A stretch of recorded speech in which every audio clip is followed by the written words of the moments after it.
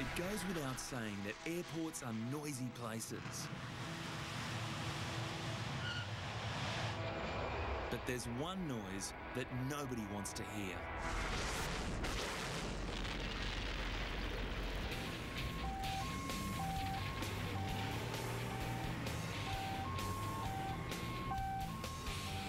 An emergency in an airport.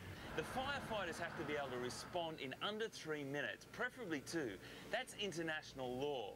The fire trucks have to be fast, they have to be powerful, and carry enough water, foam, and powder to put that fire out.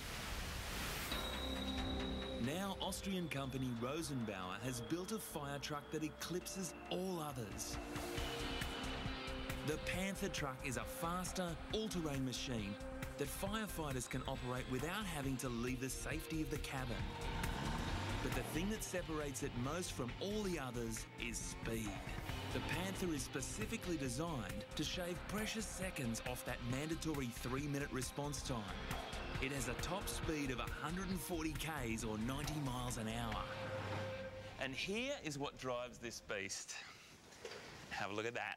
A 22 litre V12 diesel engine that pumps out a mighty 1,000 horsepower. Acceleration 0 to 80 in 25 seconds. Now, that may not be as fast as a Lamborghini, but for a fire truck, that is flying. Okay, the next thing this truck needs to tackle is rough terrain.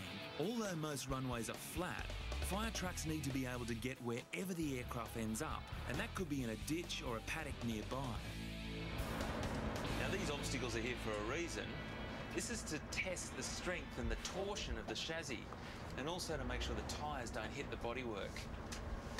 The Panther certainly performs. Coil springs instead of leaf springs, which is a great advantage. What a beast. It just goes over these obstacles like they weren't even there. This truck has an incredibly low centre of gravity. That means it can operate on very steep inclines without even shifting. The Panther is at about 25 degrees. Now that gives it the ability to operate in very, very rough terrain. At the same time, you can still operate this fantastic water cannon. And here's what's unique about the Panther. Even at this angle, and with the firefighters inside the vehicle, it's fully operational. Thanks to these exceptionally versatile water cannons at the front. The larger one on the roof can pump out more than 6,000 litres, or about 1,800 gallons a minute, reaching almost the length of a football field. The smaller one can switch between a narrow jet or a wide spray, and both can be operated by separate controls inside the cabin. this is the coolest. And this central display unit here allows you to monitor what's going on in the vehicle. Tank levels, pump pressure, even engine temperature. Basically, it allows the firefighters to sit in the safety of the cabin, fight the fire with these controls without having to go outside. So let's fire up a simulation and put the Panther through its paces. Newcastle International Airport in the north of England is home to the world's first operational Panther 6x6, and this is why.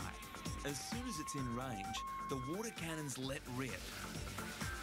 Already the firefighters have saved valuable time that would otherwise been spent getting out and unrolling a hose. But hoses aren't forgotten. In this instance, two men have left the truck and are outside training a hose on the blades.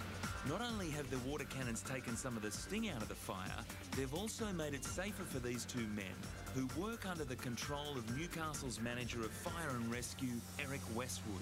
The guys are not put into dangerous situations where they have to climb onto the roof, where the vehicle's moving at high speed. It's done from the safety of the cab, sat next to the driver. So again, the communications, the talking to each other as they're sat next to each other driving along, it's easy to operate. And in aircraft firefighting terms, that's critical, every second vital for us. Later this year, Newcastle will be taking delivery of two Panther 8x8s. With its high-reach extendable turret, it's the airline industry's preferred vehicle for dealing with the increasing number of large planes expected in our skies. Ironically, all that technical wizardry and Rosenbauer's years of design and development have gone into creating a vehicle which in an ideal world airports hope they would never have to use.